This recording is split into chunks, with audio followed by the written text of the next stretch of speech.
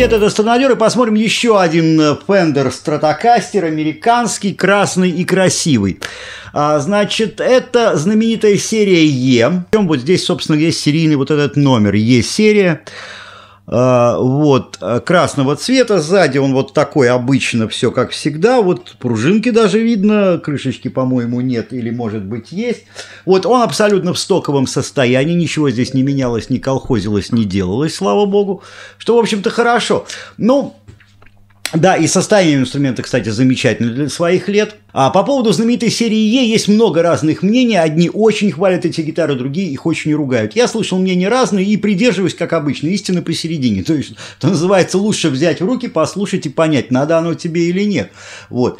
И, а, например, вот ранние версии у меня были, ну, еще Дан Смитера это называется, значит, история, да. А на, совсем, на совсем ранних Е-сериях там вообще машинка. Во-первых, совершенно другая, то есть вот этого выреза не было. Вот, все а, регулировалось вот здесь здесь. Вот. И, соответственно, у меня было несколько таких стратов, они все отличались, на мой взгляд, достаточно тонкими грифами. То есть мне было даже как-то неудобно, если честно. То есть вот грифы как-то мне не нравились. А вот, э, было две, несколько, было у меня несколько инструментов, значит, с, без накладки. И здесь, по-моему, и здесь накладки тоже нет. Вот, и была одна версия с палисандровой накладкой. Вот так, кстати, мне понравилось больше. Вот, этот инструмент, он, на мой взгляд, в общем-то, значительно ближе вот к современному стандарту. И профиль, и гриф, значит, здесь такой уже, мне не кажется таким тонким, хотя я не измерял.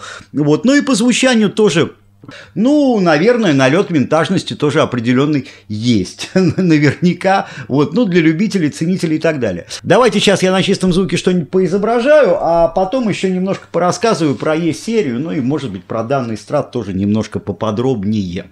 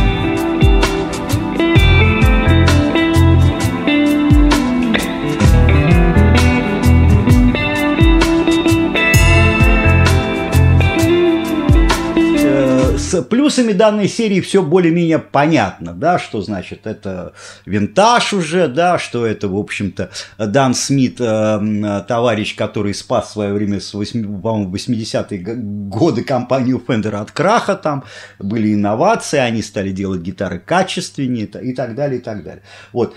У недоброжелателей и у, у недоброжелателей вот этого периода тоже есть свои аргументы. То есть я слышал, я слышал, то есть вот что называется, что в свое время почему их так сильно, а, они так сильно популярны, просто они были относительно недорогими, их достаточно много привезли к нам в Россию. Ну и немножко был такой маркетинговый эффект, что вот это вот True Fender, а вот то, значит, более современное, это нифига уже, значит, не True Fender. Ну что, что в общем-то, действительно не соответствует.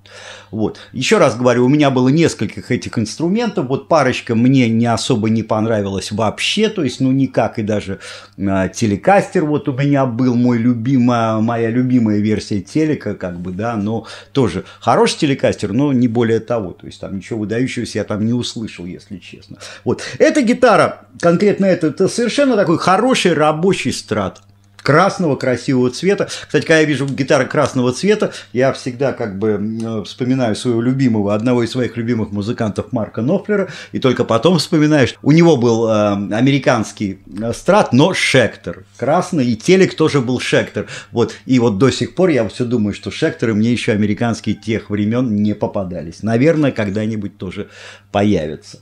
Вот, давайте сейчас подключим педальку ядра, а то что-нибудь поизображаю уже с педалькой на этом замечательном стратокастере.